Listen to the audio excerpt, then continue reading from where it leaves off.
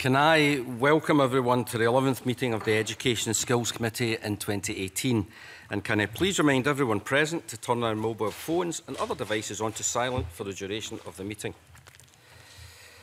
The first item of business is a decision on whether to take agenda item 3 and 4 in private, which is a review of the evidence heard today and also consideration of the work programme. And is everyone content that agenda items 4 and 5 are taken in private? Thank you. Can we also confirm that we're content to take future reviews of evidence on the attainment and achievement of school-aged experiencing poverty inquiry in private? Thank you. The next item of business is an evidence session on the attainment and achievement of school-aged children experiencing poverty inquiry. This is the first evidence session the inquiry, and before I start, I'd like to put on record our thanks to everyone who has contributed written evidence. Some of the evidence is arresting, and it is really important that the voices of young people, parents, teachers, and community workers are heard in Parliament. And we'll be hearing more from these people in coming weeks. And can I welcome to this meeting John Dickey, Director of Child Poverty Action Group in Scotland, Kevin Loudon, Research Officer Robert Owen Centre for Educational Change, Danielle Mason, Head of Research Education Endowment Foundation, and Dr Jim McCormack, Associate Director Scotland, Joseph Rowntree Foundation. I should, should say to the panel from the outset that if you'd like to respond to a question, please indicate to me or the clerks and I'll call you to speak. And before in inviting questions from my colleagues, uh, I'd like to ask the panel um, for its thoughts on two things. We've had received lots of evidence from lots of people that this is one of the major factors in the attainment gap, the, the, the fact that children are coming to school hungry and they don't look like maybe sometimes they've had a good night's sleep before, or, uh, and a lot of that seems to uh, attain to poverty. Why do you think that we've had a, a, a rise in the amount of that that's coming, but seems to be impacting on the, the school attainment levels? And I'll then come on to ask you a number of uh, questions around interventions that you may be able to put forward. Would uh, anybody like to answer? Jim Connolly. Thank you, uh, Just, just to start um, on, on that point, I think when we come on to talk, as, as we made this morning, about um, progress and achievements that are being made um, by children in low-income households, uh, I think it's important to say that those achievements are really against the odds um, and against a very heavy headwind in the sense that we know that after 20 years of progress with child poverty, it's now rising again. We've now got enough data over a number of years to tell us that we've passed a turning point. And so um, I, I, I, think in common with many others, um, one kind of framing point to bear in mind is um, there are things that can be done within the education system in how schools relate to uh, families, communities the costs that they face. Um, but um, we have to be careful that we are trying to both improve the quality of what we do, the education, and attend to the income risks and shocks that families face, which show up, for example, in food poverty and food insecurity, um, and resist the temptation, as we've seen maybe in other parts of the UK, to say it's one or the other. Uh, both have to be in play if we're to make more progress over the next few years with the attainment challenge. Okay, thank you. Danielle? Yeah, I'd absolutely agree with that, actually. When I was thinking about what evidence was going to be most useful to... No, no, sorry. Oh, sorry. No. When I was thinking about what evidence is going to be most useful to speak to you about this morning, I was thinking about this distinction between, on the one hand, reducing and alleviating the impacts of poverty for for children on a day-to-day -day basis, and that can be you know from the very large to the very small, the distinction between that and a specific focus on narrowing the attainment gap between poorer children and the rest and you don't necessarily need the same types of interventions for those two different things. So, for instance, a really simple example, introducing swipe cards in schools for school meals so that there isn't the stigma between you know, free school meal children and other children, that can have a big impact on a child's experience of school, but it's not very likely to improve their attainment. I mean, at the margins perhaps, but it's not going to be, it's unlikely to have a significant impact.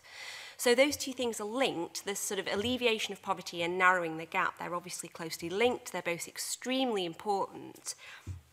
Um, but at EEF, where I'm from, we're quite narrowly focused on, on that narrowing of the gap. And in terms of that, it, it really is about improving the quality of teaching and learning in the classroom, even when you take into consideration these wider issues.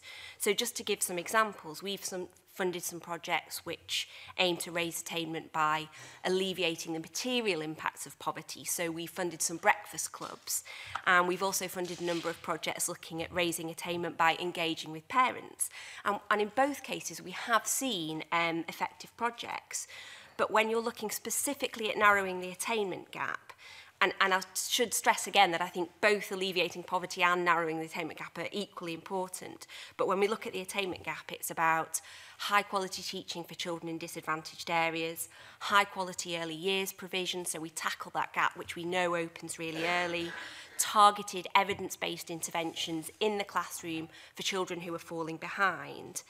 Um, those are the things that are really going to impact on the attainment gap.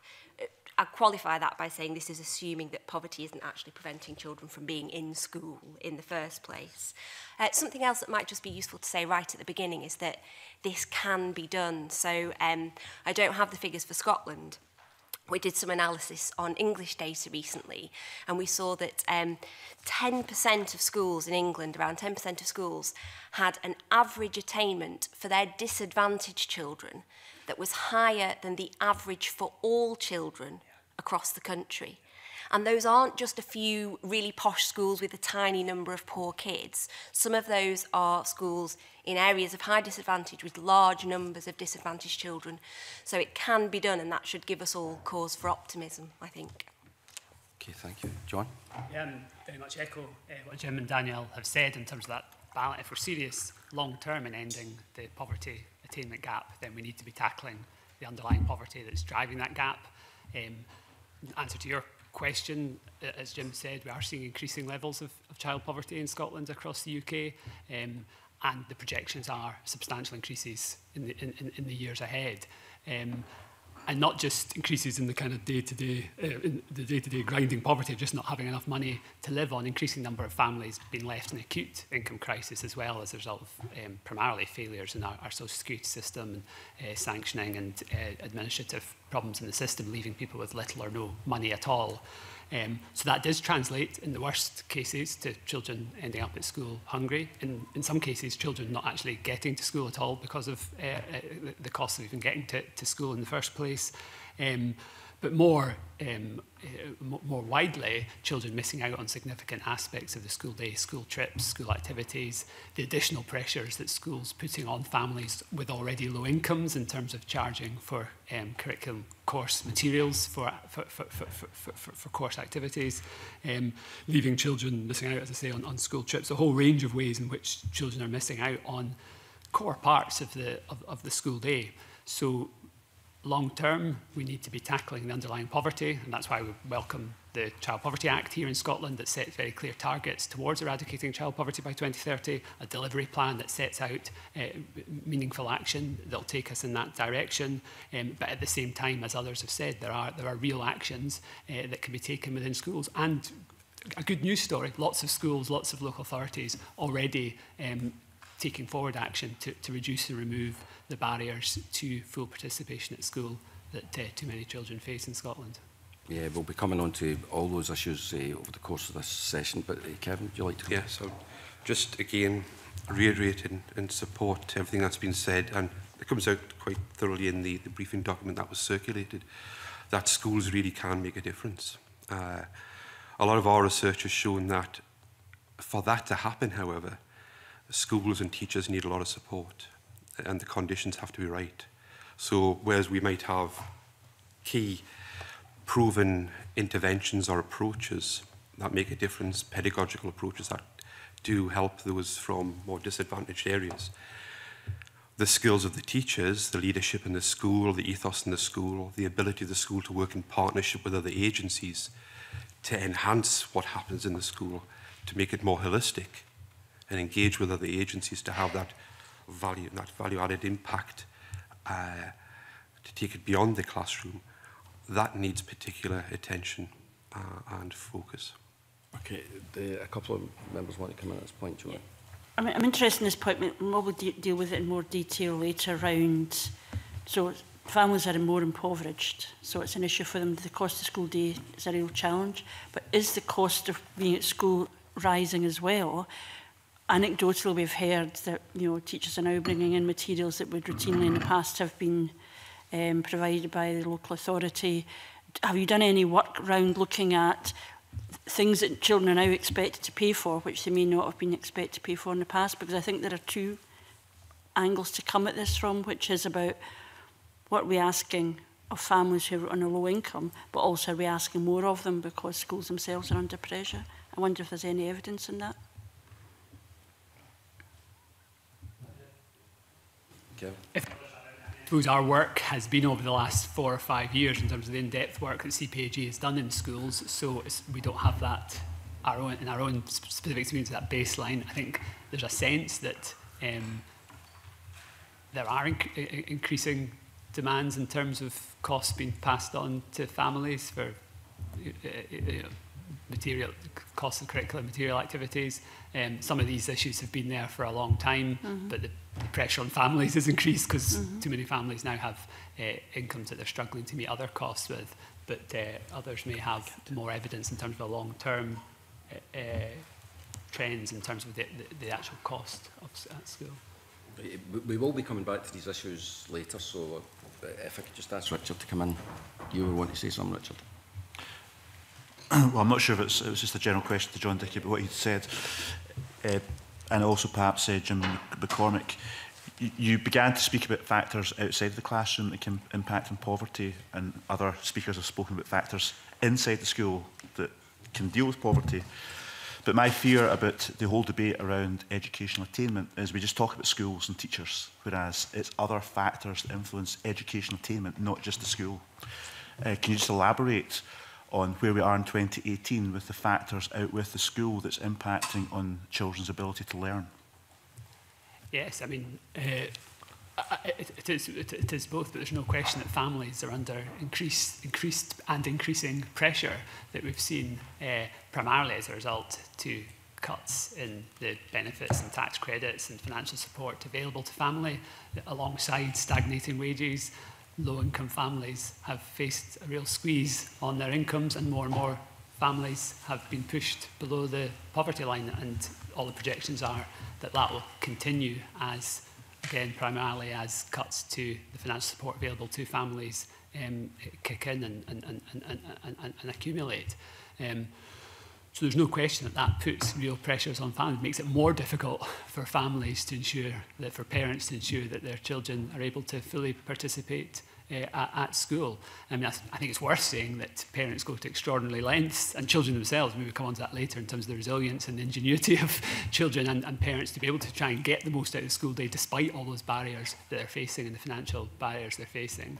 Um, but there's no question families under increased financial pressure, um, cost is a school getting to school, dressing for school, being able to fully participate at school, and um, being able to uh, build on what happens in school in terms of the home environment and learning opportunities outside school, all of those have costs attached to them uh, in a situation where um, increasing number of families are being pushed below the poverty line.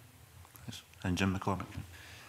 So we, we, we worked with a, number of academics at the LSE and elsewhere in, in recent years to try and look at international evidence on this and then bring it back to the UK and Scotland. And, and um,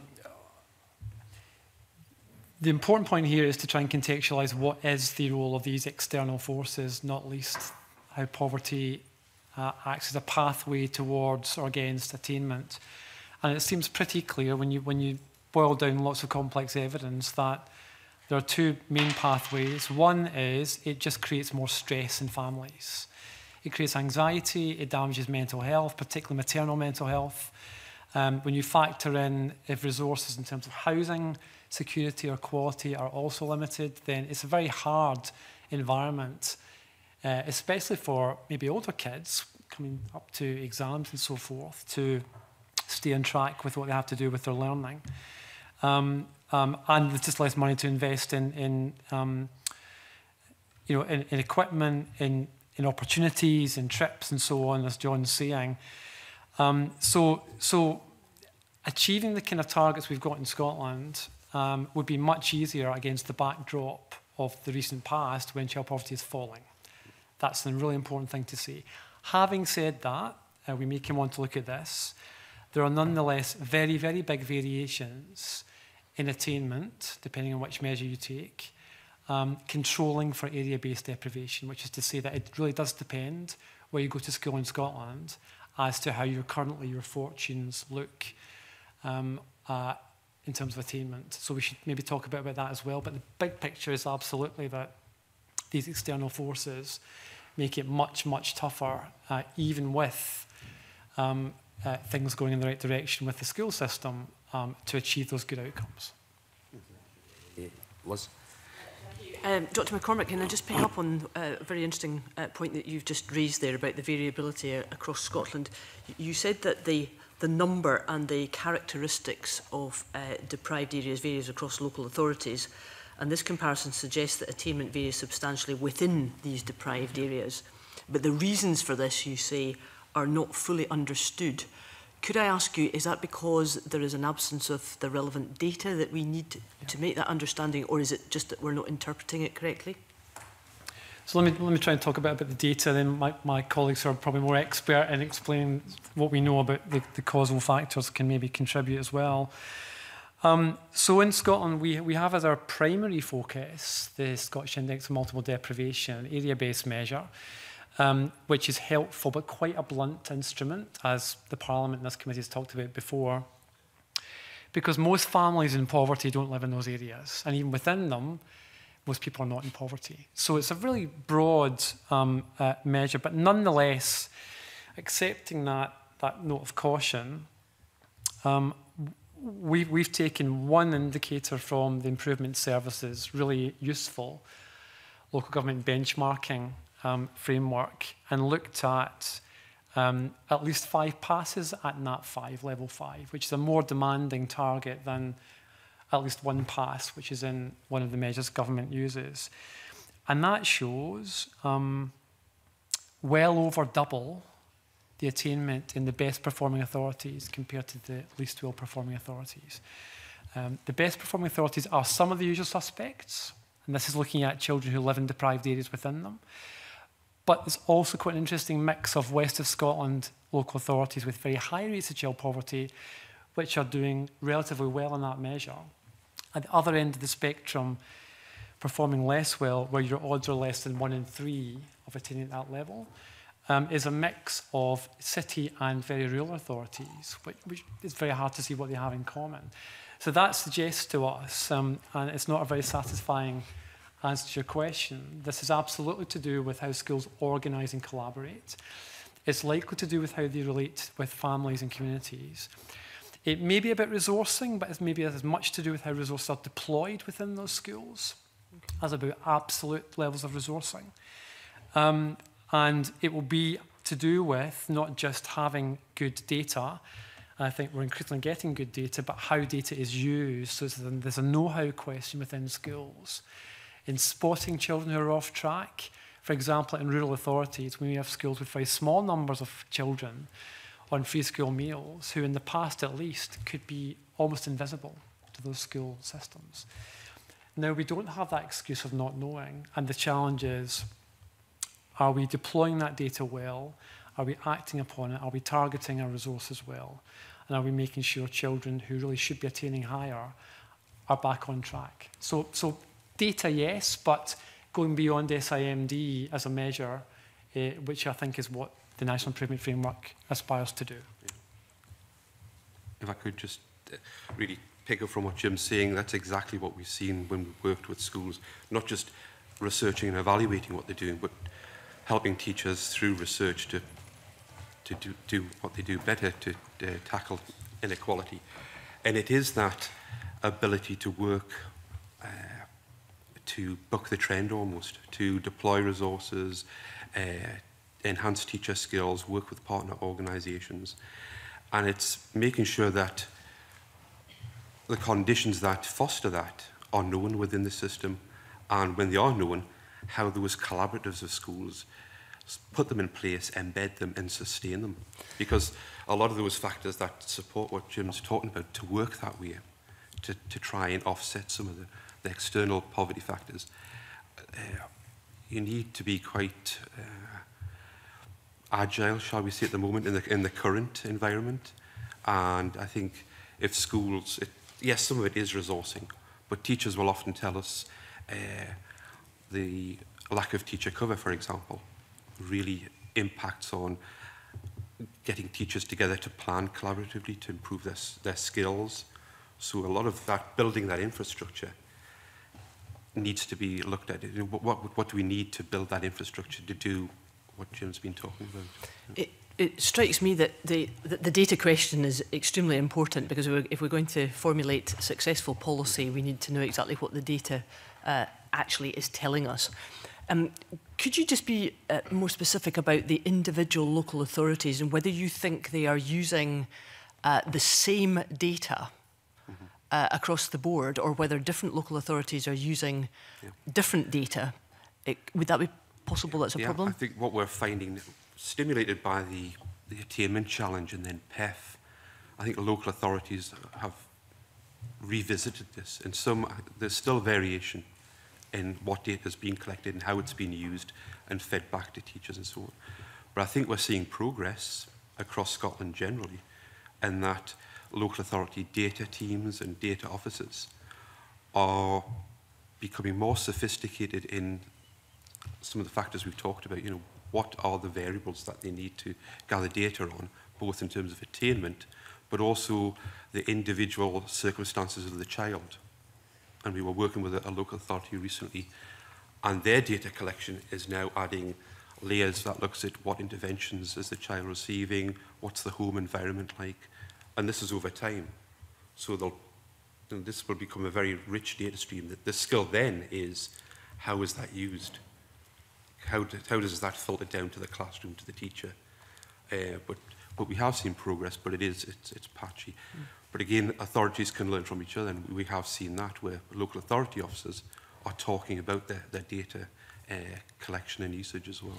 So just my, my final question would be, are, are all local authorities uh, looking to the likes of yourselves to help with this data collection, or are there some that are much more advanced in picking up better qualitative data? I think it varies for a whole range of reasons, you know, for, for their own resources and their own capacities.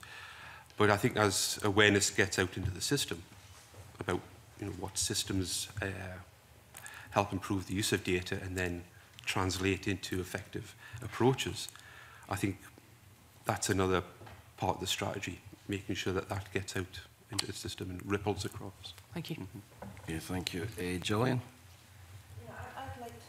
pick up on a few things that people have said. I mean, um, I can't remember who was it mentioned about getting the best teachers to the schools that need them the most in terms of, uh, but that's obviously very difficult when you have a culture where if a school has a, a reputation of not achieving or it being difficult to work there and having, as I think it was uh, Jim McCormack said, a headwind of, of poverty, Um, how can you bridge that kind of reputational thing of encouraging the best teachers to apply for jobs in those areas that have the most challenges when you've got, a, I suppose, a, a culture and maybe an inspections re regime that makes it look that these schools are failing? How can we make it attractive for teachers to actually look at these challenges, say, I want to work in that area, I want to make a difference to that area? So there is some evidence, not from the UK but from the US, about um, financial incentives for teachers to move to schools in more disadvantaged areas, schools that are perceived as more challenging, which has that evidence has shown an impact on actual children's attainment from those kind of schemes of incentive transfer. As I say, there's not much evidence from the UK on that yet, but at the EF e we are starting to test interventions looking at teacher retention in disadvantaged schools, um, and that the evidence of that is going to come online in the next couple of years. Um, so you know there is there's it, there are potential ways to kind of encourage good teachers that to to move to the most disadvantaged schools there's also quite a lot of good quality evidence out there on the best type of continuous professional development for teachers. So it's not just about encouraging a specific group of teachers into a different set of schools, but to really build the skills and capacity of the teachers who are already there. So there's a good...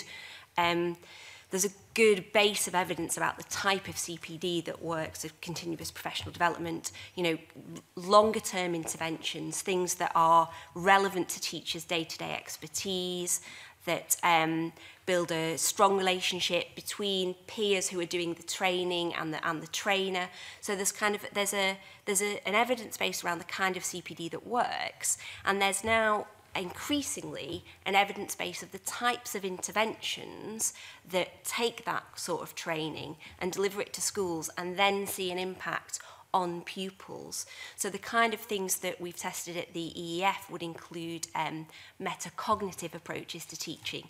So this is where teachers understand metacognition is sometimes um, referred to as learning to learn, but it's where teachers have a better understanding and are able to equip pupils with strategies to plan, monitor and then evaluate their work so they're thinking about how they're learning that has a good good evidence base that when teachers have a good knowledge of how to do that, we see an impact on students. Um, high quality feedback, for, for example, teachers can be taught how to deliver high quality feedback, good questioning of pupils that builds cognitive skills and again we see an impact on pupils so there's both an evidence base around transferring teachers and then an evidence base around how to build high quality CPD and if you can build that into reforms um, then we can have more high quality teachers teaching our most disadvantaged pupils and that quality of the pedagogy and the interaction between the teacher and the pupil is as I said before there's a much wider uh, issue here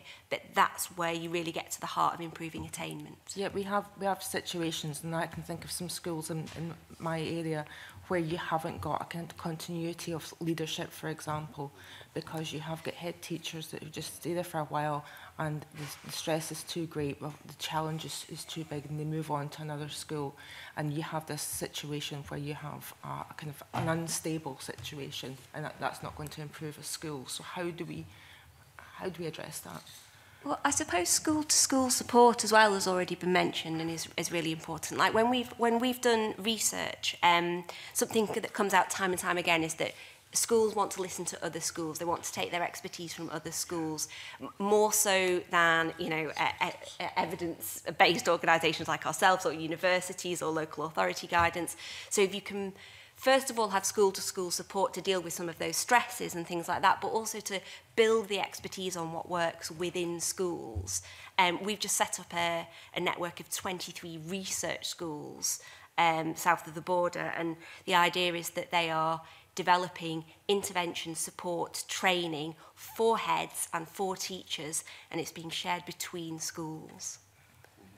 I mean, I've just again, that's exactly what the Robin Owen Centre has been doing over the past eight years, is working with local authorities and schools to build that capacity locally. Because I think one argument, one strategy could be that you're trying to attract teachers into areas.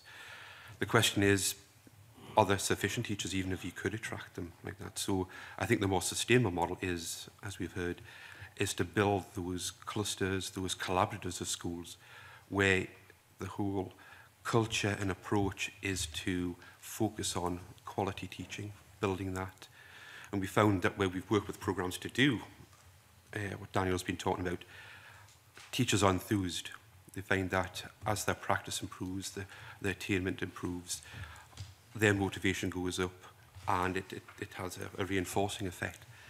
And I think if you can get that sustained, where you, you're building that capacity in collaborative schools to, to focus on quality teaching, but also working in partnership with other organisations to tackle some of the other facets of uh, poverty that influence attainment. That's, there seems to be a lot of strong evidence already in Scotland that that, that mm. does work. And coming back to just the, the, the, the, the second part of my, my, my, my theme, I suppose, is about the reputation of a school being based on, for example, an inspection result or a, a, a you know, we were talking about low-performing um, local authorities, for mm-hmm. example. These kind of phrases can put practitioners off. They can demoralise mm -hmm. um, oh, yeah, a, yeah. a teaching. They, they can certainly demoralise, and I think that puts an onus on the Inspectorate, Education Scotland and government about where schools are struggling, to use that term. What's the most appropriate way to, to, to deal with that and what, how, how do we couch that in, so that it's seen as a, a form of supporting rather than you know overt criticism which then demoralises the, the, the local workforce. I think that, so there are the messages about how do we help those schools in, the, in those areas and some may be in challenging areas, may not be, But how do we help those schools improve? And I think there's, there's a lot of literature, a lot of research evidence about how we do that. We have a track record in Scotland of, of doing this in certain areas. And there's evidence, as Daniel says, further afield. So we know how to do it. It's just putting commitment and resources into that sort of system. And I think importantly for a lot of what we've been talking about is seeing this changing in a realistic time scale because the impact of building that school system and wider systems. So the dividends and the impact on attainment may take a little bit longer to see, mm -hmm. but there's evidence that that, that will happen.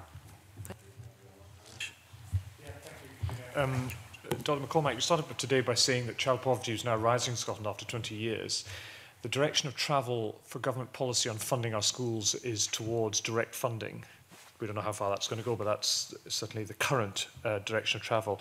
Is there any evidence that that direction of travel is the right way to go?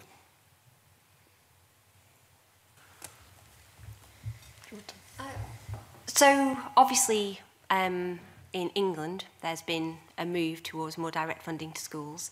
Um, I, there's certainly no evidence on which is a better system that that I'm aware of that that, um, that I would want to point to here. But certainly, if you do have more direct funding for schools, it gives you an opportunity for to um, make the very best of head teacher and teacher expertise. So we encourage schools um, when they're thinking about how to spend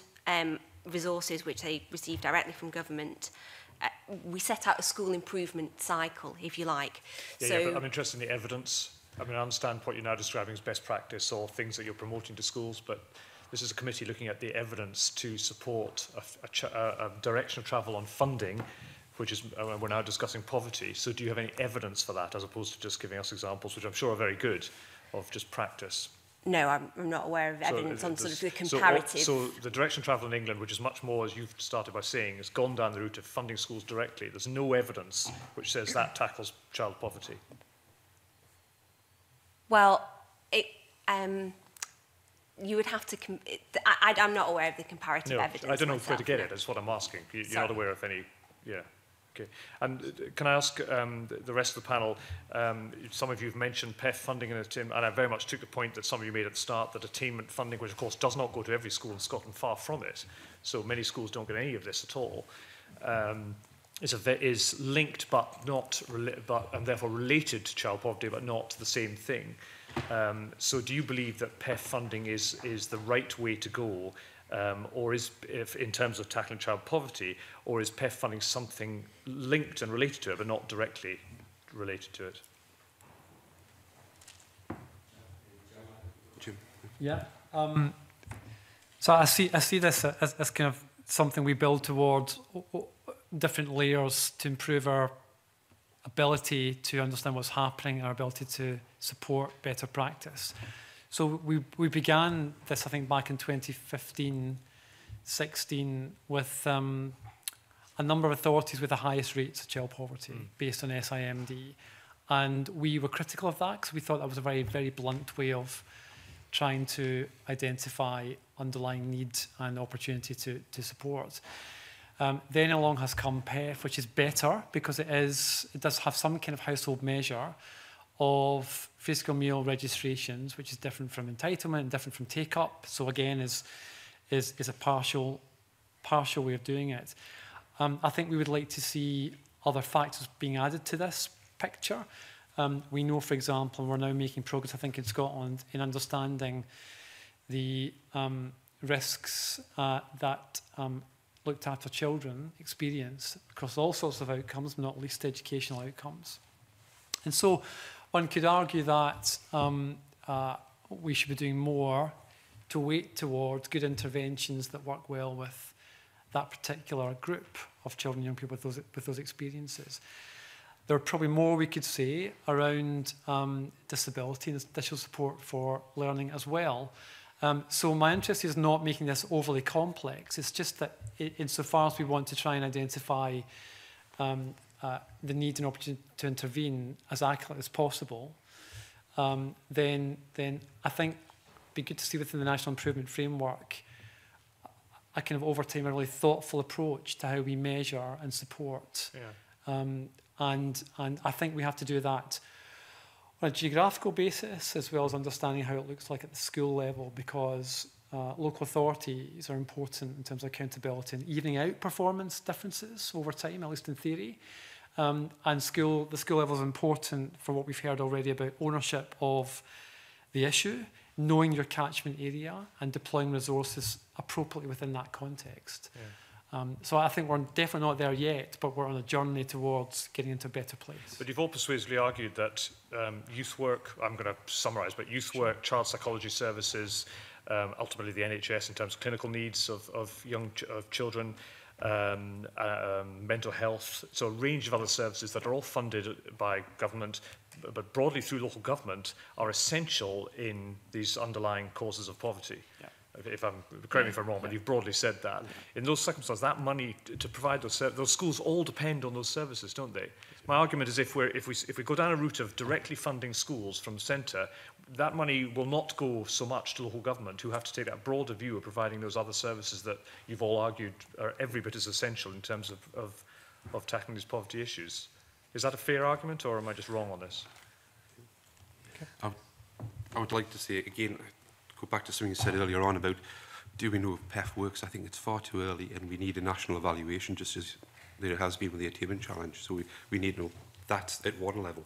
But drawing on our experience of working closely with schools in different contexts where, where PEF is deployed, as a mechanism, it really does depend on how able the school and often the head yeah. teacher and that leadership understands how best to use it and deploy it. Because a head teacher would have the autonomy to deploy, to use and bring in services like that. Mm. So their understanding of what works, as we've heard and we've seen the papers, If leadership teams and teachers were savvy enough to know this, then they could work to deploy that funding in, in that way. I think our experience is it's far more patchy. I think money will come into schools and it isn't always best used.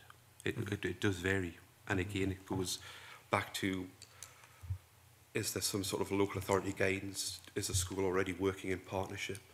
So I think you get that patchwork of use of uh, PEF without really a background of a universal understanding of how best to use those and your, your, observation earlier on, Mr. Loudon, was that, that where schools collaborate and the culture is greatly improved by that, yeah. that, that then feeds through into success, both in terms of tackling poverty, reducing poverty, but also it in terms of tackling helps. the attainment gap. Yes, yeah. it certainly helps. And I think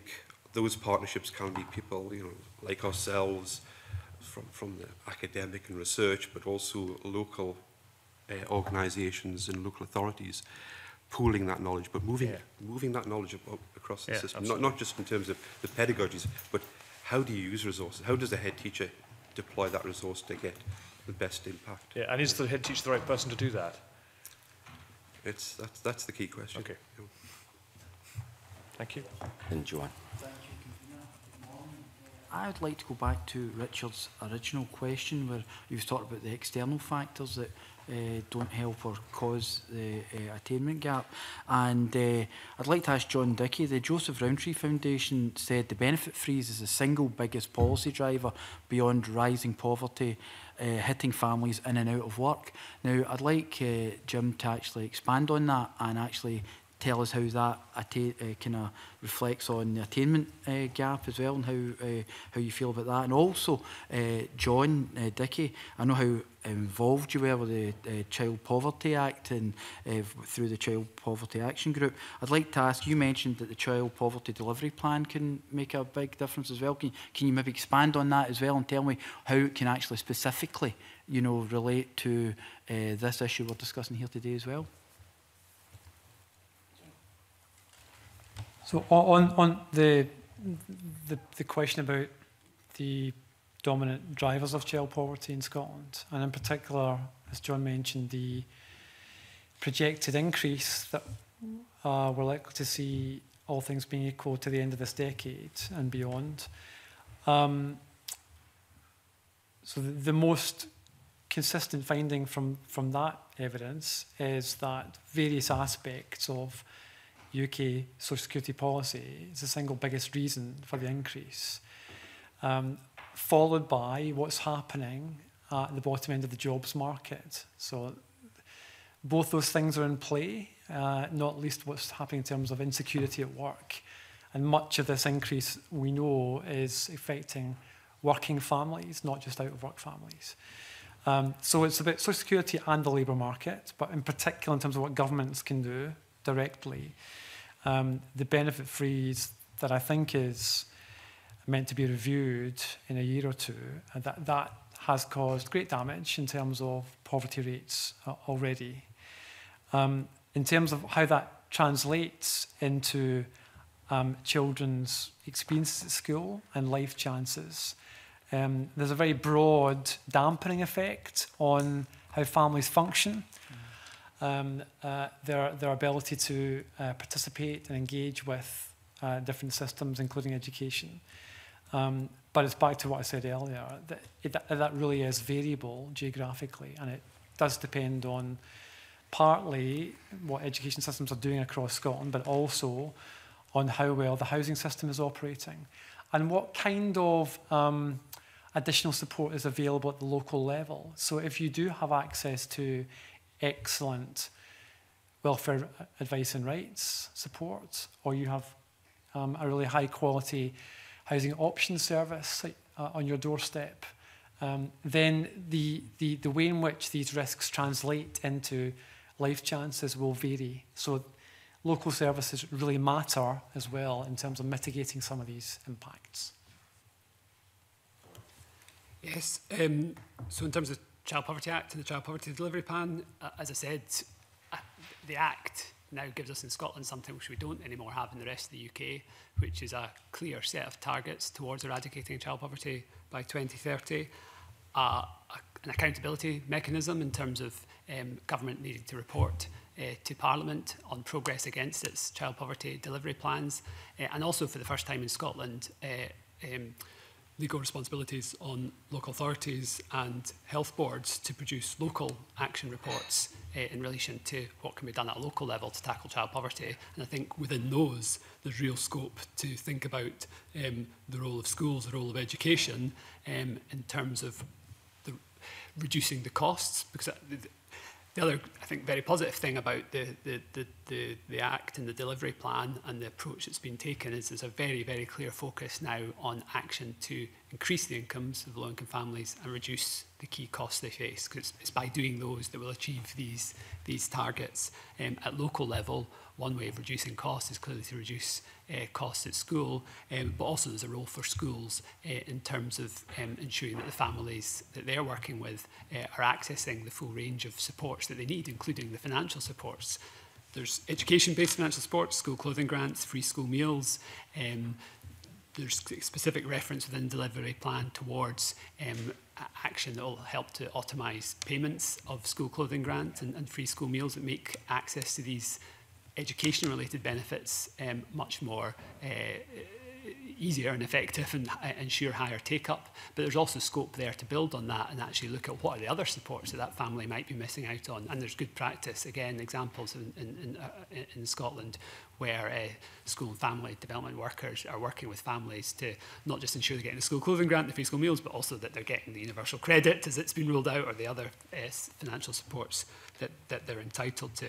So a real role there, a real, a, re a real role there within local action reports for um, teasing out the action that can be taken at a local level uh, to um, both maximise incomes but also remove uh, cost barriers And then the longer term, uh, the wider longer term issue of improving the process, ensuring that all children are able to access um, the, the, the, their learning opportunities that in the longer term will ensure that they are more likely to um, be able to earn and to support them and their children in the future in the longer term in terms of uh, sustaining uh, a lower level of or, uh, sustaining a, a Scotland free of child poverty beyond 2030. No, thank no, okay. Do Yeah, I want to go back. To, um, well, two issues in one round, um, SIMD, another round, local authorities. Because I mean, I hear what you say absolutely about choices being made round um, precarious work and the impact impact of that. And I think a lack of willingness to address what we now define as positive destinations, which can be very poor uh, working experience of people, but also the benefit system and which you know, you're, you're absolutely to identify that in terms of um, child poverty. I wonder, however, if you've done any analysis of the impact and the disproportionate cuts to local government on being able, those very agencies that want to support young people and address the question of poverty, their capacity to do so because you know, it's one thing to say, well, a young person should have access to a grant. If local authorities are under massive pressure has there been any work done looking at what the, what the choices are that local authorities are making in the context of a lack of resources? Does anybody want to respond to that? Mr McCormack. Uh, um, so over the last um, possibly four or five years, we, we've worked with Glasgow University and some others who have developed a really um, practical um, toolkit for local government, which helps them um, for any kind of budget outlook to work out the best way to um, protect low income people in places um, as far as possible. And this was um, uh, co produced with, I think, four or five local authorities across Britain, including Renfrewshire and some of the larger cities in England, um, which over that period faced quite different budget reductions. So there was a real budget reduction in the Scottish example, but it was much less than in Newcastle or Coventry or other parts of, of, of England that were included.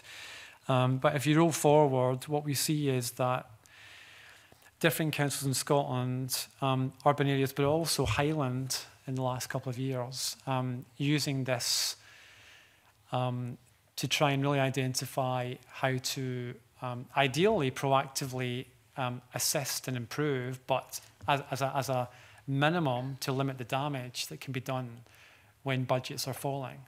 Um, and, and again, it's back to the point about data and knowing how to deploy your resources when they're under pressure. Um, it really does matter that um, both the financial support that can be available through grants and other types of support, but also the in-kind value of high quality services um, has a much bigger value for low income communities than for everyone else. Mm -hmm.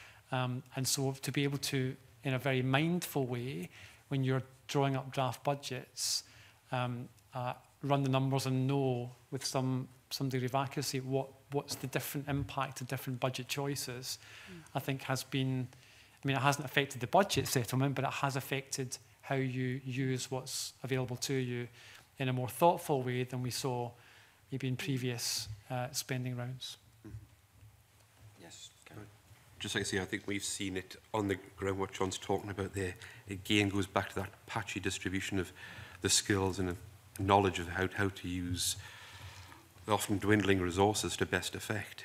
I think we, we see that. But what we've noticed in our research working with schools is that I mentioned infrastructure before, such as that might be advisors locally in the education system, it might be local support workers, uh, the cuts have definitely had an effect on that availability. So what the effect is then tracing that back down the way to look at attainment in schools, I think that, that that's harder to, to look at that. Mm. But certainly in terms of the, the feedback from school and, eh, and teachers and head teachers, they see this as very much affecting their ability to tackle the attainment challenge, this reduction in the available infrastructure that helps them do what, what they need to do. Yeah, I mean, I'm struck by the fact that some of the things you described we were doing 25 years ago. Strathclyde Regional Council was very radical in a lot of the work that it did, but if you speak to people now anecdotally about the supports that are in school, they have gone. Yeah. And you know that the extent to which people are talking about you know, young people with additional support needs not being appropriately supported. And it's, it, my concern is, I want to ask a question about this, is that we, we both recognise a systemic problem, mm -hmm. but we then talk about individual solutions. If there was only a Mr Chips in every school, everything would be fine, mm -hmm. when mm-hmm. in fact it is about systemic approaches as opposed to just about individual quality, or individual quality matters. But can I ask this question about SIMD? Because, you know, uh, eh, Dr McCormick's not the first person who's come along and said it's a very blunt instrument, etc., etc., doesn't address where, the, where young people are um, impoverished. Would your own figures suggest that if you're a young per person living in a relatively um, well-off area, but you yourself are disadvantaged, your outcomes are better, and therefore SIMD is a good measure because even if you are yourself in good work and not impoverished and are very supported by your family in a school where there's an intensity of poverty, that then impacts on your local service, whether it's your, your, your doctor's surgery or the pressure on the school or whatever, that impacts on you even although your own family circumstances are relatively supported.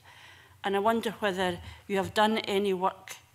Is it fair for me to say that actually it's not a blunt instrument if you're looking at systemic problems around poverty and the impact of poverty on communities, even where individual families themselves are not in poverty. Shall I have, have a go at that one? That, I think that's a really great question, actually, and a good challenge back. Um, I think SMD is really helpful in identifying what you've just said about the variations in across what we're calling deprived areas. Um, uh, and that does map on to some degree onto places doing well or not doing well. So, so um, helpful in that sense. Less helpful in one sense, though, which is that when we look at um, how children growing up in deprived areas are faring, um, uh, there's a risk that we then take that as a, as as kind of shorthand for low-income families or families in poverty. And There is some correlation, but it really depends where you are. If you go to rural Scotland, the correlation is very weak indeed. If you go to urban areas, the correlation is much stronger. Um, I think it's interesting that when you look at the indicator that I've focused in on here about level five passes, um, you, you've got Western Bartonshire, Inverclyde, North Ayrshire, North Lanarkshire, um, um, really bucking the trend, if you like, and beating the odds, at least in that one single indicator. Can I ask if you mean they're bucking the trend as, a, as in contrast with, say, Glasgow? Is it that they are, are they bucking a trend yeah. in the areas round about them? You could argue, yeah. for example, that Glasgow draws the challenge to it because it's a city yeah. and the, the areas round about it perhaps are not well, quite the same pressure or is it bucking the trend across Scotland or beyond that? It, it, so if, if, you, if you look at the, um, let's say the top quarter of authorities with the highest rates of child poverty, which, which is where we began the attainment challenge, just for the purpose of illustration, um, then they, they are distributed differently but, but, but Glasgow is above average actually on this indicator too. I think it's really striking that areas like North Ayrshire that have been struggling for such a long time with the economy, with participation rates in the job market and so on, with very high rate of child poverty, is nonetheless faring better than relatively some relatively affluent parts of Scotland. And so the, the kind of system around about you in terms of the strain on transport, on housing, on, on welfare support, and absolutely is, is a material factor. Um, but it's still quite interesting and maybe surprising that, that some of the authorities who, are, who appear to be doing better on that measure are clearly, and, and we've, we've taken a three-year running average, so it's not a single year's data, uh, they must be doing something which other authorities could be learning from as long as the comparisons are, are fair and appropriate. And I take from that a really, it's a really actually an encouraging picture that authorities which don't have the challenges to seek are, despite all that, um, and this is no indication of what's, what's going to happen in future, but for now, are, are managing to, to maybe outperform what on paper we might expect. And in contrast, some authorities that ought to be faring better aren't. And the final thing I would say is, uh, despite the long-term nature of how change happens, the other encouraging thing is that some authorities which have been struggling on that indicator are starting to improve quite quickly. Now that may be a trend or it may not be a trend, but th th there are lots of hopeful things, even with this very narrow way of measuring attainment, I think that we can take away. thank you, okay, thank you very much. Uh, Ruth? Thank you, Convener. Good morning, panel. Um, I'd like to ask about the cost of a school day, but first of all, um, Daniel Mason, in your opening um, answer. You said that um, 10% of schools in England are um, managing to achieve what we're trying to achieve. So I suppose the obvious question is, what are they doing? Well, I think it comes back to this focus on what's happening inside the classroom, and I think this links really nicely with, with what you said. And it's not, it's not about trying to put in opposition the wider issues of deprivation with what a school can do. Both are very important, but they're clearly are a set of things that school can do around teaching and learning, which make a difference for children, even if they are experiencing other unacceptable impacts of poverty. And the evidence suggests that the best things that schools can do are the things that really impact on the relationship between the teacher and the people in the classroom. So um, I don't have the evidence on what those schools are doing in the classroom that's different to other schools, but we do have very good high quality evidence that the types of things that you do with pupils, which are around um, high quality feedback, as I said, um, uh, uh, metacognition, understanding the process of learning um, for both the pupil and the teacher, making really good use of collaborative learning and peer tutoring, uh, well-structured targeted interventions, always focusing on pupil needs and when pupils starts to fall behind, well-targeted catch-up, good deployment of teaching assistants in the classroom to target individual pupil needs rather than using them as general classroom help. So there's a range of things that schools are doing. And I suppose another thing that's really important is that it's not a one-size-fits-all approach. It's about exactly, as Kevin was saying, the ability of heads and other senior leaders to diagnose what's needed in a particular school and deliver that. Thank you. Um, we had quite a weight of evidence about the, the cost of a school day and that's, that's Im its impact on families. So I suppose I'd just like to hear um, more of your own reflections on that think I was um, particularly struck by, um, I think it was Unison spoke about, if you've had the opportunity to see a play as well as um, read about it or read out loud, that it's going to you know you're going to do better at interpreting it and, and therefore better in your in your work so that was one of the one of the things that that, that, that struck me um, and I suppose it's that bit as well that which um, Joanne Lamont touched on about the extent which education is actually free if if parents and families have to provide additional things um, so that, that their kids can get the most out of education that they're participating in. Yeah, I mean, I suppose the, the the reality is that too often education isn't free. What's offered in school isn't free.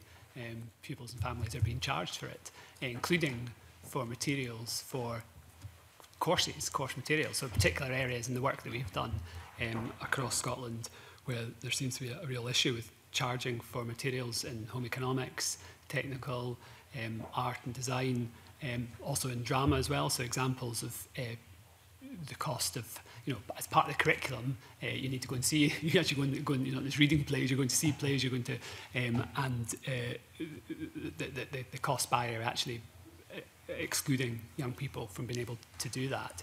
Um, so real evidence of pupils then actually, uh, young people actually making subject choices influenced by costs and young people themselves saying that's had an impact, young people and teachers um, saying that they've witnessed that having an impact on subject choices.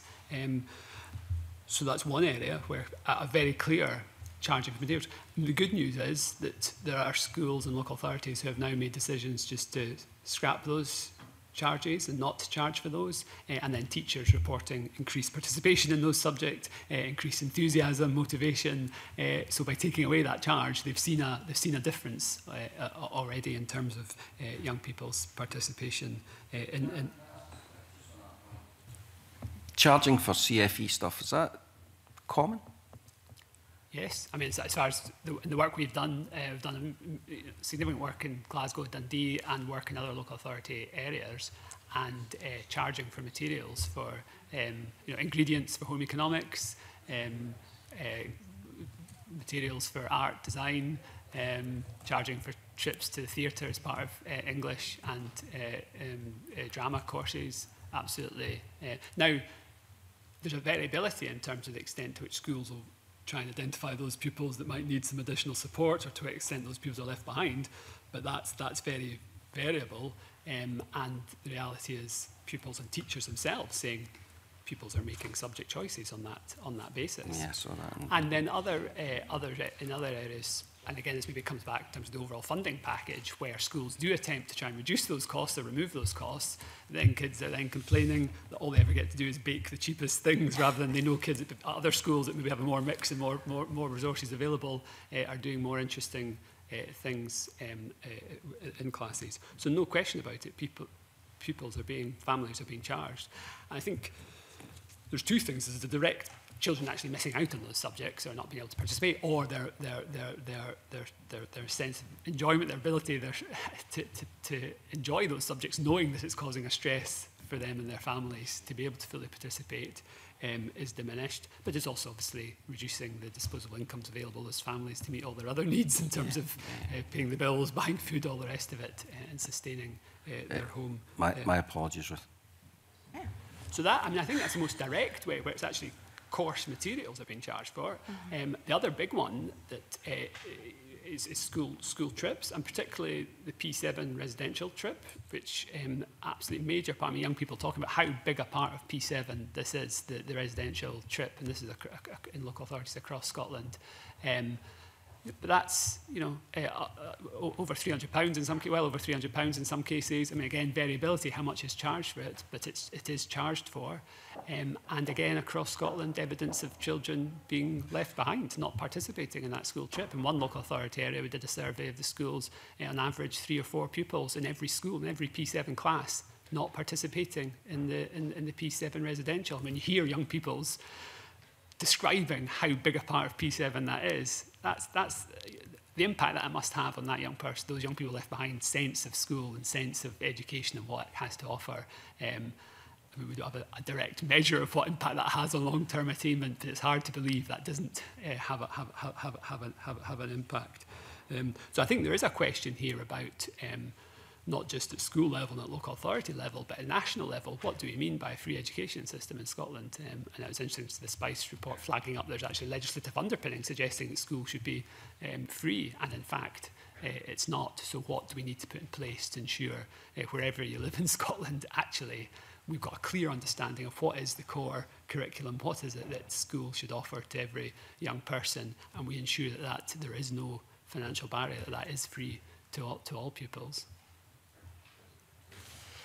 it has particular relevance, I think, if you look at the, the research literature on what works, as, we, as we've heard, some of the, the strategies that make an impact on those more disadvantaged students and help close the attainment gap are what they call enrichment uh, opportunities and experiences where students who are normally disadvantaged get the opportunity to, to experience things they wouldn't, whether it's culture, museums, outdoor experiences.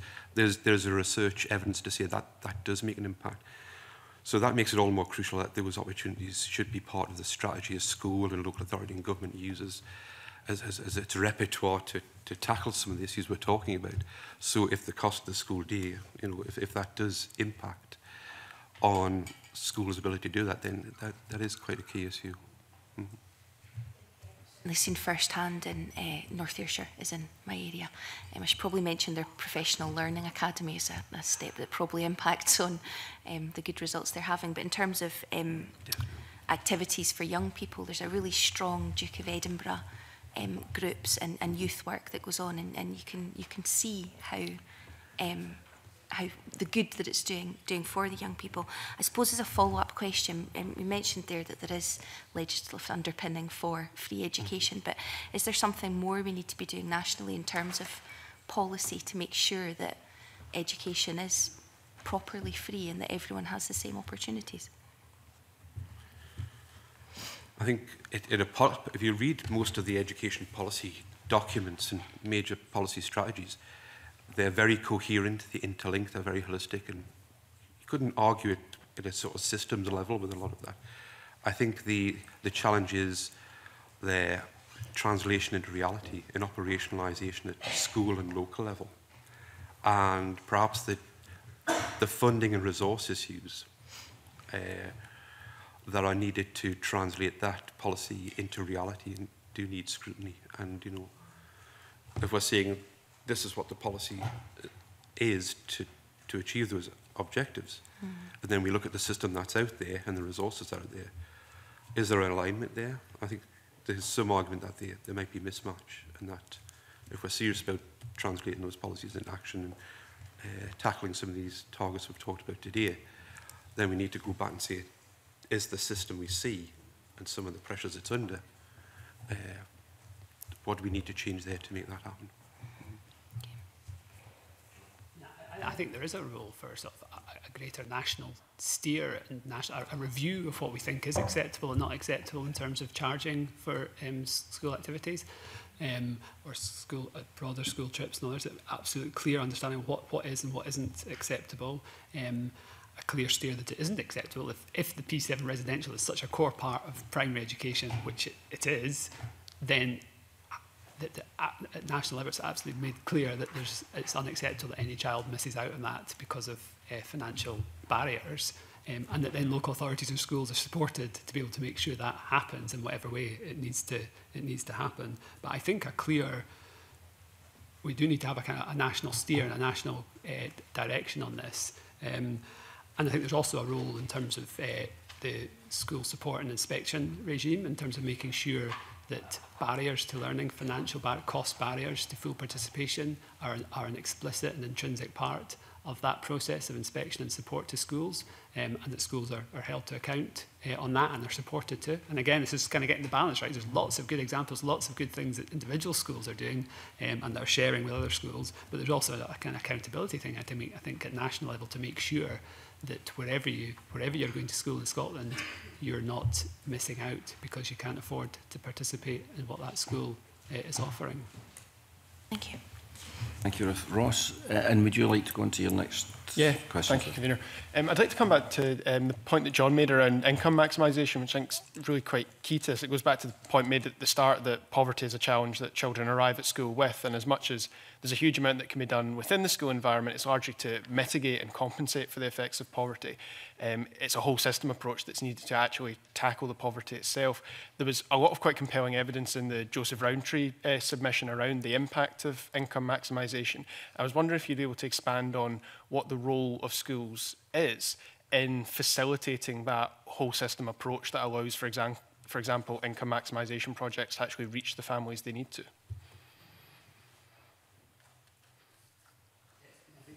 As I've already flagged up, I think there is more that individual schools can do to promote Eh, and ensure that young people in their school eh, are accessing the school clothing grant, the free school meals, the educational maintenance allowances, the supports that are already there, but which aren't actually being fully taken up.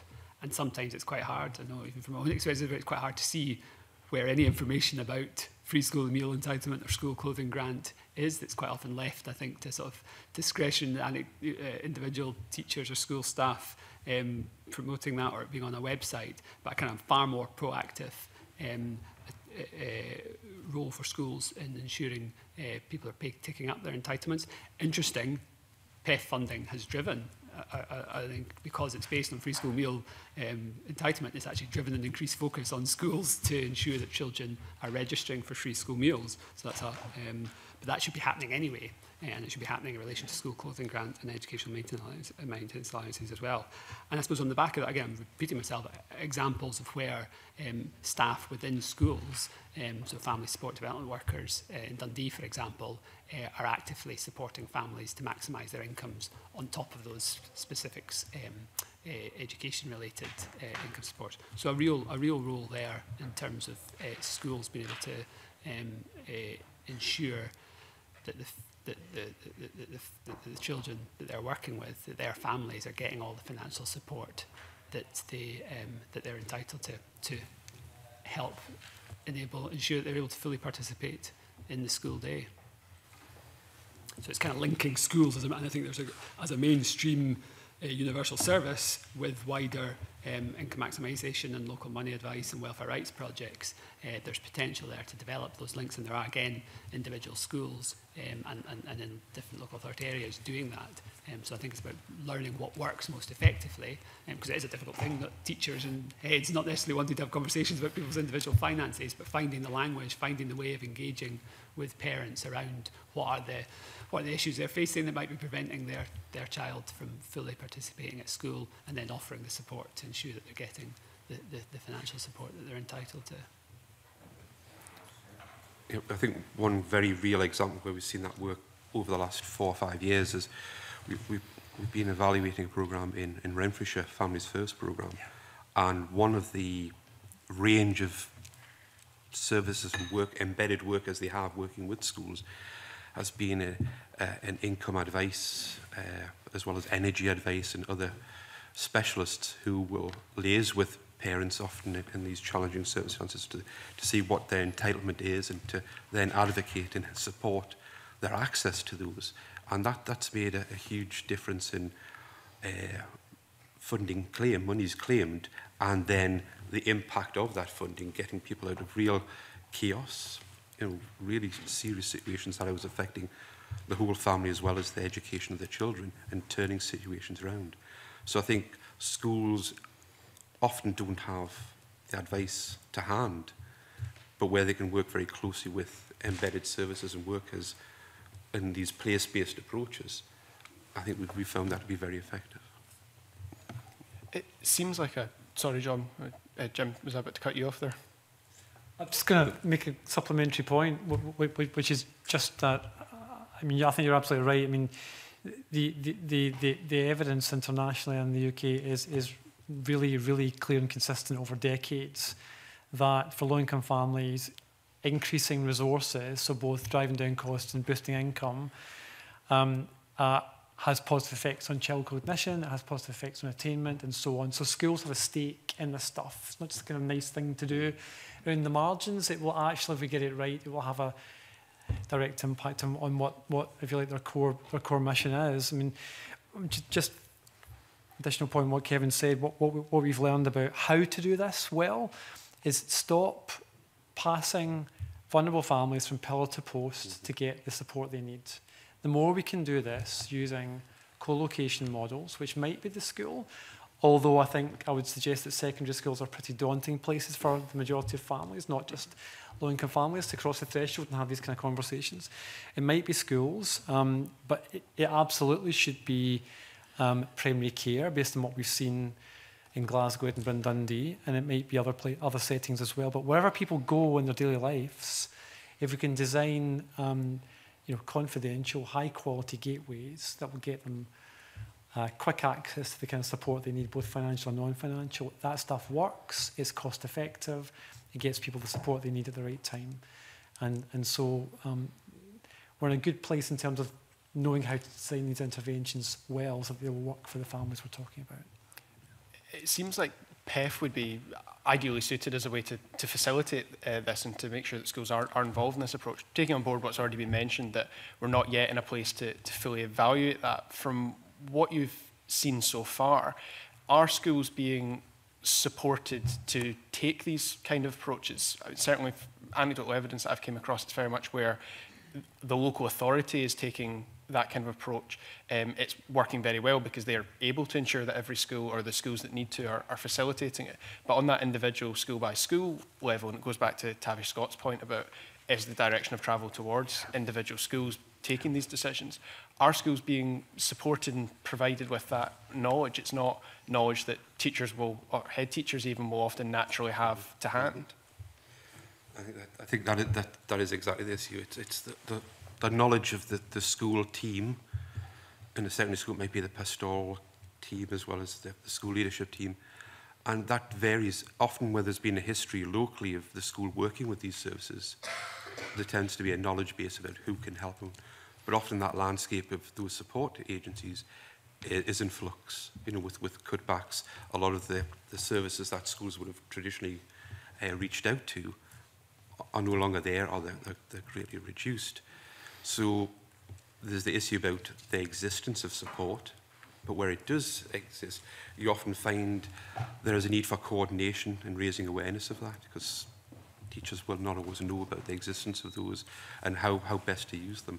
So as, as we've heard, these co-located, as, as, as uh, Jim was saying, we know about the models where how best to set these services up uh, and align them with what schools do and, and make it more holistic uh, is perhaps the best way rather than schools having to look around and think, where would I find this support? I think it... Oh, sorry. Right, so are you suggesting that, the, that some local authorities are instructing uh, head teachers how to use the PEF money? No, where the, where the local authorities not using it, it has not done it through PEF, where they have separately initiated and, and facilitated income maximisation across their schools. But the, the point is that where schools are could use PEF to do this. Some schools are because they know it's an option. But there are schools that have PEF money, but the head teacher simply doesn't have the knowledge that income maximisation would be an effective way to spend that money because no one has advised them that it would be an effective way to spend it. Yeah. Okay, that's not what I found, but I, I, I just wanted clarification. That yeah. was all. That's, thank you. Oh, thank you. Um, I just think it's worth um, reiterating that um, the kind of things that we're talking about, income maximisation and poverty alleviation and spending money and resources and time in schools and around schools on those is um, absolutely essential, but it is it's necessary but not sufficient. So all the barriers to learning and to parental engagement that you alleviate through those kind of measures, it's necessary, but it's not enough. You've then also got to have the the focus on the good teaching and the good interventions in the classroom to make the most of it you know once children have enough to eat in the morning and you know aren't being stigmatized for certain things and aren't missing out on trips then there's the additional thing of the actual focus on learning to get the attainment outcomes that you want yes that's just in terms of PEF funding e-, examples of individual schools using that money to reduce costs, to remove costs for school trips, to get rid of those uh, costs for ingredients for home economics, for example, uh, investing in um, uh, breakfast clubs to ensure that children have got something to eat before they start their, their school day. So there's individual examples of PEF being used in ways that reduces uh, reduces costs at school.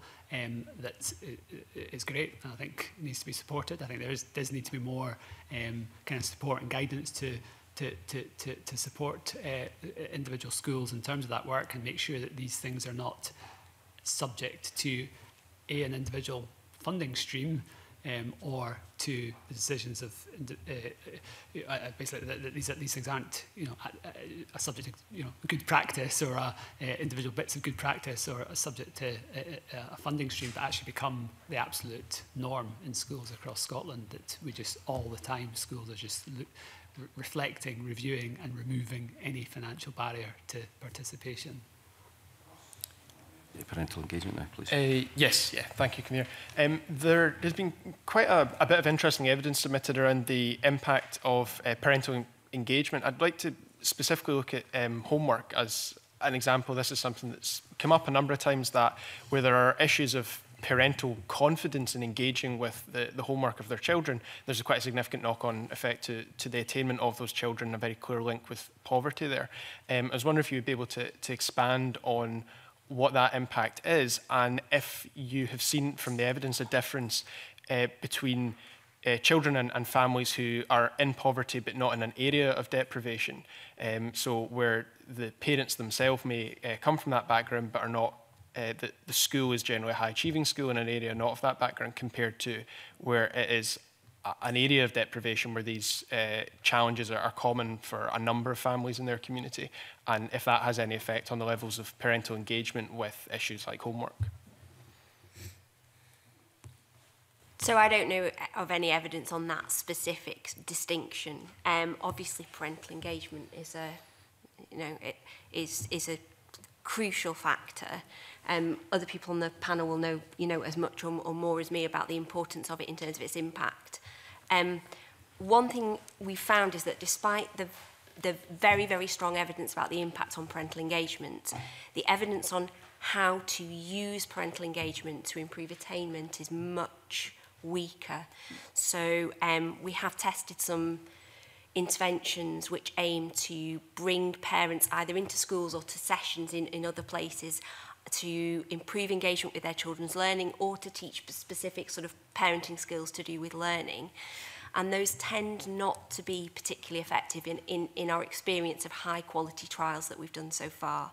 There's a challenge around actually engaging the parents that you want to reach. And then there's a challenge around the types of interventions that are going to be effective. So it is difficult for schools to find really good ways to get good parental engagement. Um, On the other hand, we've tested an intervention, and it's just one, and it's just an, uh, you know, it's a first trial that we've done, where parents were texted um, with prompts to encourage them to engage with their children's homework or tests that children have coming up. And it was very, very low cost, very low resource, and had an impact on both attainment and attendance. So there are some things coming through that schools can do to kind of, that schools can try to increase that engagement. On homework in particular, there's probably just one interesting thing, uh, well, one interesting thing that I have to add is that there's obviously the parental background and parental attainment and the ability to support your children doing homework. There's also material issues.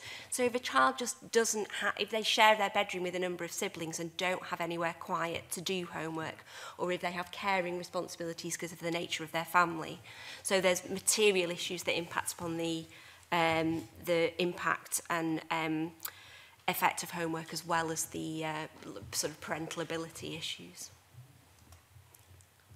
Yeah, just, just to re reiterate that, I think when we talk about parental engagement, it, it's a wide spectrum. It's you know, what do we mean by meaningful, effective parental engagement? And I think some schools really find to get to that, it's about building relationships first with those parents and where those relationships have been built up and those parents who might be reticent about approaching the school for whatever reason, where they've had success in that, then involving those parents in the, in the learning of their children is often a lot more effective and, and productive in terms of outcomes.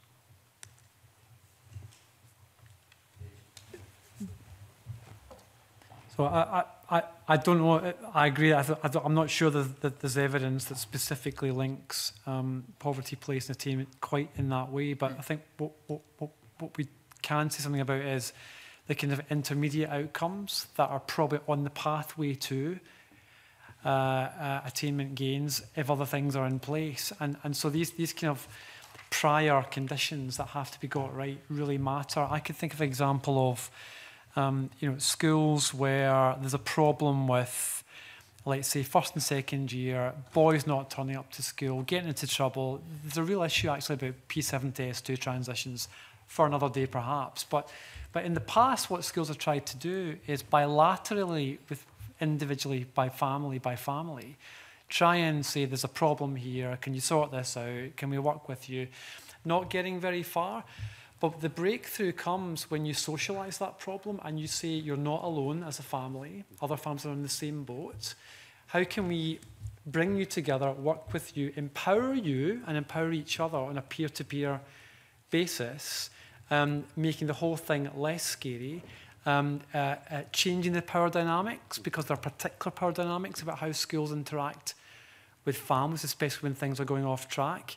And I think there, although that's in the, in the kind of category of promising rather than proven as a way of working, I think there, there, there are some interesting signals in there about culture and power sharing um, that really matter for families generally, but especially for families who are having a tough time in terms of poverty. The other example I would give is when schools, as they increasingly do, are providing study support during Easter holidays or after school or homework clubs, um, often teachers will have in mind the kind of children they, they really want to turn up to get the extra support.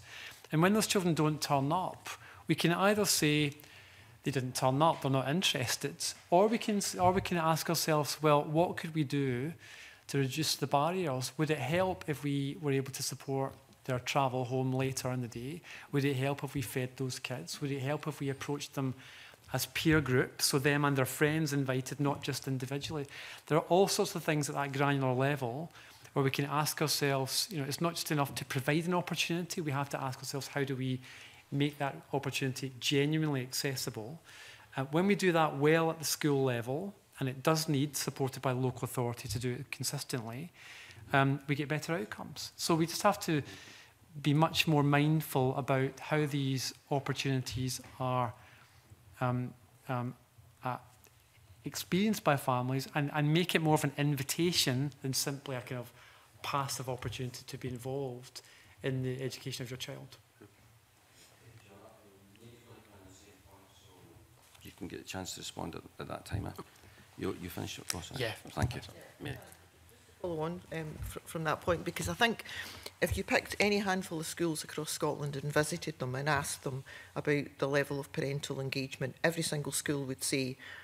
there are parents that are engaged with the school and there are parents that are not.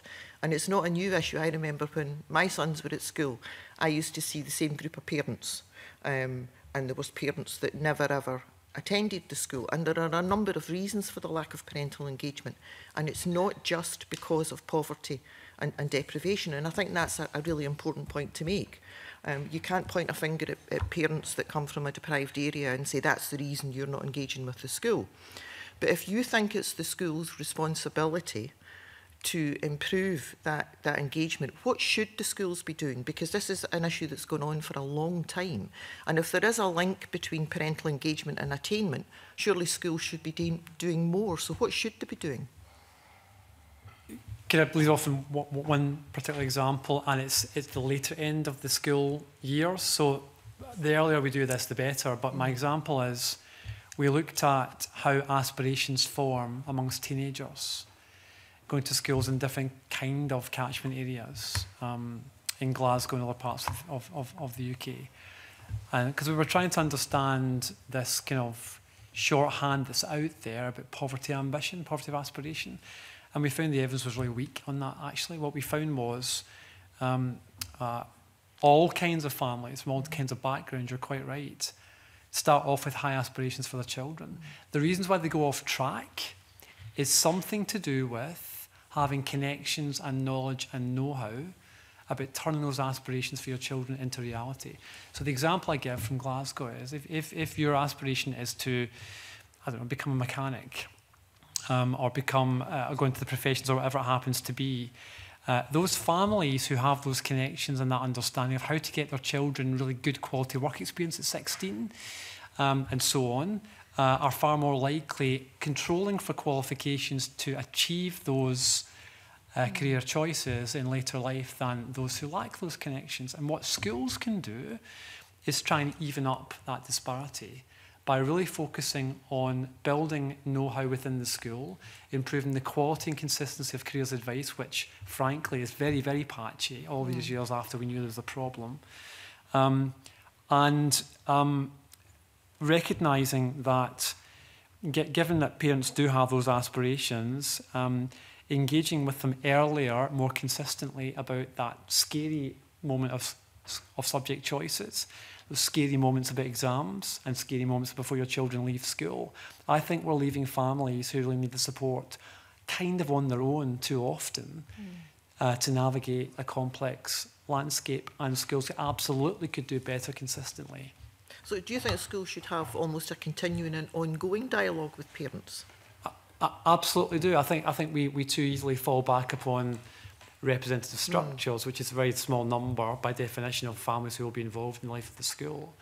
My experience anecdotally is I'm asked to get involved with my daughter's high school if there's a problem when they want money. Mm -hmm. So that's not good enough. We yeah. need to have an on. We need to have many, many different invitations from schools to be involved in how all sorts of things can be improved, as well as more relational approaches when things are going off track. Mm. um, in ways that make families feel they, they can be part of the solution. Um, uh, and and the, the, the hopeful thing is that we've got really good evidence in Scotland on what happens when you build a culture, culture participation in, in mm. different schools mm -hmm. from the Children's Commissioner from three or four years ago. Um, this stuff, when it's done well, really works, really makes a difference. I can't tell you the link into attainment, but I can certainly tell you the links into these intermediate outcomes about family confidence, good choices, um, uh, when you've got you know, a link into good quality careers advice, uh, good consistent early work experience, it really makes a difference to confidence and motivation. Just, just before I, uh, can, can I just make one very brief point before I let the other panel members in? How much of an impact then does, does a parent's experience of, of school have on the way they treat the relationship yeah. with their, their, their child's school? No. I don't know the I don't know the sort of quantitative evidence of it, but obviously you know anecdotal mm. evidence from um, the projects that we do is that uh, it's very important and it's a big barrier to engaging precisely the group of parents you might want to in terms of attainment mm. and and and that then I think comes back to exactly what Jim was speaking about, which is making um, making it as easy as possible for parents to engage. Okay. Mm-hmm. okay. We know from research with. Uh, in, in adult education, what, what forms adults' perceptions of education, childhood experiences of, of education, it doesn't devalue their, their, their, their vision of the, the utility of education, but their confidence to approach mm. schools is, is definitely affected. And I think that then will then pass on to how they engage with schools. And working with schools, what really works, going back to that, that theme about relationship building with the local community, where you have had teachers and teachers who will get the message across to the local community that their doors are always open mm. and really you know invite parents to just come in and as far as they can even though head teachers are very busy that message then does get into the community over time that the head teacher will sit down and talk to them so you build that relationship up in the community it's easier for primary schools to do that it's much more difficult i think given the structures in, in, in secondary mm. schools to do that but perhaps not impossible but i think that building those relationships with parents over time is, is, is key to that. Okay.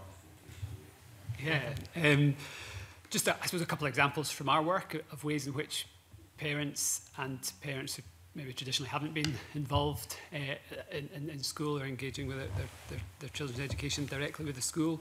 Um, we've been involved in a couple of bits of work um, undertaking participatory, participatory budgeting exercises where a pot of money has been set aside uh, for the school to, to use to reduce financial barriers to participation and parents and children themselves have been involved in actually deciding what are the key issues and what that money should be spent on. So examples in Glasgow and uh, just ongoing in Midlothian at the moment. So don't have long term, don't have the data there in terms of long term, but it seems like a way that potentially brings parents in to be able to make real choices actually about how money is spent that might help make school more um, accessible um, for their young people and uh, uh, boost participation.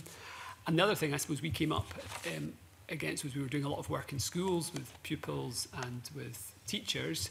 Um, and actually what came up was quite often there's pressure from parent councils for trips, activities, fundraising activities. And it was those things that were actually creating financial pressures for um, uh, for, for, for, on, on pupils and making it difficult for young people.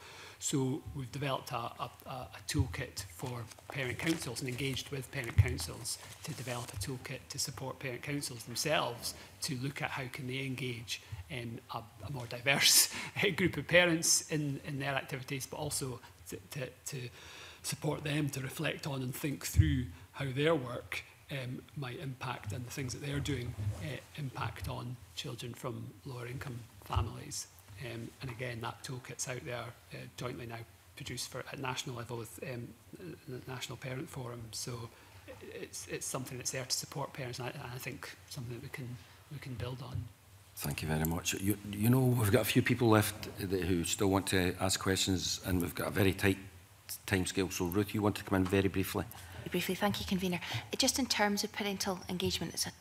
term that makes me shudder a wee bit sometimes. Would, would you acknowledge that actually there are parents who are maybe not on the parent council or in and out of the school, but that we need to value the contribution that they, made, they make to their children's education by reading with them, by talking about their activities of the day, that it's not just that kind of set thing that maybe springs to mind about being on the parent council and lobbying for, you know, trips or whatever the different thing is, that actually the value that they add to their children's education can be through other ways as well. you won't be surprised to hear that I think that's the most important type of parental engagement. It's, mm-hmm. it's the engagement with the learning rather than being on the school council or at the school gate. Yeah. we've got examples of schools supporting that and with good feedback in terms of providing um, home lending packs during the school holidays They'll engage parents and Uh, uh, of interest to parents and good feedback from parents parents on, on that and um, providing support books for the parents as well as kind of uh, materials for the young people materials for, for parents as well in terms of particular subjects. A math support book was one example that was given to us by a school, again with positive feedback from parents and teachers saying they've seen a, an increased um, level of engagement in those subjects as a result. you, uh, Convener. Um, a number of the points I, uh, I was going to raise have, have already sort of come up, so I'll, I'll try and keep it a bit shorter. Um, I was going to ask you talk about the importance of that teaching and learning uh, relationship. I mean, my experience from speaking to, to teachers, certainly within my own constituency, is that a huge amount of their time is taken up with activities that are not teaching or learning based. Um, Is, is that something that you, you come across nationally and in, and in research? Absolutely. Um, it's, a, it's a big problem. It comes up when you speak to teachers. A, a good example is um, marking and marking practices. So um, it's become um, common practice to, I don't know if uh, triple impact marking is a practice where a teacher marks a book, the child responds to the marking and then the teacher responds. It's a way of demonstrating that you've had interaction with the pupil and given them feedback, but it's an incredibly resource intensive one, one with very little evidence behind it. So marking is a particular example where people are doing very resource intensive things with very little evidence of impact. And I think that there's a range of things. It's really about schools um, not spending time and resources on things that have not been shown to be effective just because they feel there's pressure to do so and focusing on the areas where we know things are cost effective.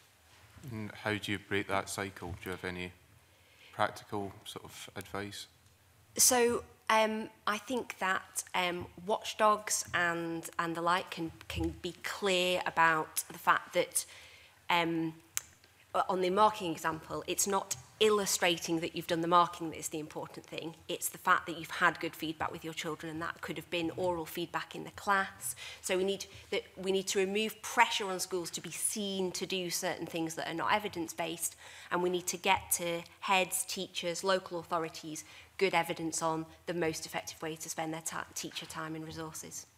I think in the Scottish context that guidance and steer will come from Education Scotland and government. I think it, I think unless teachers feel they are safe to do this, and it, it, it's not seen as some sort of accountability measure, then only then do they feel if the message from leadership, whether it's school, local authority and Education Scotland, if there's a culture that, yes, that's what you should be doing to maximise the impact on, on learning, then teachers will do that. I think in schools where you have very strong leadership, they may resist certain pressures and But in, in the absence of those type of environments, I think the only, the only uniform way, generalisable way, is to have that steer come down from, from senior leadership. Okay, thank you. The, the other thing I wanted to go back to was uh, the sort of area-based uh, deprivation and the sort of different differing links. Do you think that there's a case uh, for rurality uh, being used as, a, as an indicator uh, of, of, of likely attainment? Is, there, is the evidence or the sort of correlation strong enough to, to start looking at that? I think in our research, and again, I think we, we lack generalizable research, but in terms of working on programs and pilot programs in, in different areas, we've been made very aware over the decades of the particular challenges of schools in, in rural areas about accessing resources, accessing services that other schools might use to to promote learning of all learners, not just uh, those in uh, attainment challenge areas. Uh, and these challenges are persistent. They, they, I think they need particular attention, but they should certainly be uh, factored into the strategy as uh, the, the, the focus of what we're talking about here. Uh, it, it's almost a, a compounding factor uh, uh, for, for schools in rural areas and small schools. Could I just briefly add to that? um, th there absolutely are distinctive features and even diverse features across rural parts of Scotland. I mean, one is just kind of organising activity, transport, broadband, and so on. Um, um, but we can learn from other parts of the world that have similar challenges. Um, and I would also, I think, make the point that rural, predominantly rural local authorities are really spread out in terms of how they're, how they're faring on some of these indicators. Um, and they're all, some of them are, are um, their, their trajectory, their, their changes recently over time look quite different as well. It, so for some rural authorities, but, but definitely not all, there's probably a challenge about in their schools quite small numbers maybe of, of children living in pockets of deprivation or very, very dispersed groups of families who are um, uh, getting by on a low income. And so when you lack that visibility or that scale, uh, it makes it all the more important you understand your data and all the more important that whatever measures you're using um, are non-stigmatizing.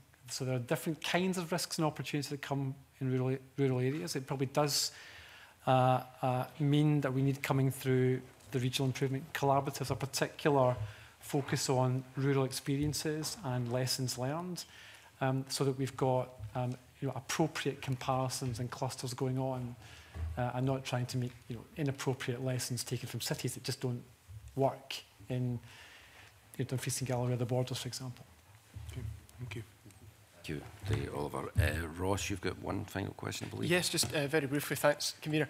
Much of the discussion that we've had this morning is uh, focused on schools and how we um, improve the outcomes for uh, children and parental engagement, for example, in school. But we're all very well aware of the evidence that uh, the difference to a child of uh, their experience in early years um, is massive.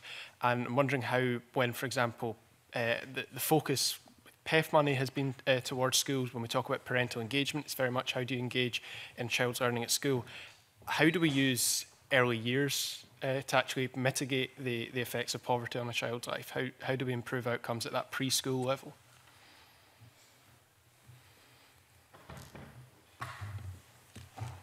If we look at the policy environment at the moment, you would say that that is recognised and reflected in Scottish Government policy. And and that a lot of the uh, the infrastructure is, has been focused on that, so that that, that has been recognised, it's there.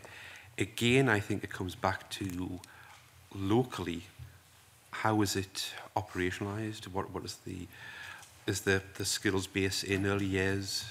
Are they uh, aware of the evidence of what works? And building it into a continuum and what, you know, we, talk about progression from early years to primary and so on into senior and beyond. I think seeing that, you know, 3 to 18 curriculum and beyond as a, a, re a reality and looking at how, how does that get reflected in the system, I think we need to look at that. Because certainly the policy speak and the policy documentation is there. The guidance is, is, is there to do that, to, to address a lot of what you're talking about. But the reality is trying to get it uniform across Scotland and, and uh, made, made real, uh, I would argue. In that case, can I thank the witnesses for their attendance today. That was a very useful open session in this inquiry. And it brings us to the end of the public part of the meeting and we'll now move into private session.